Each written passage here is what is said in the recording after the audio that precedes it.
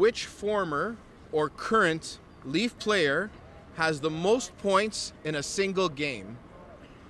Is it A. Matt Sundin, B. Darryl Sittler, C. Doug Gilmour, or D. Auston Matthews? We'll with Matthews. Ryan, you're wrong. Ah, I'm sorry, Ryan. It's Darryl Sittler. okay. We'll have to get you on another one. Thanks right. very much. I appreciate it. Yep. Take care.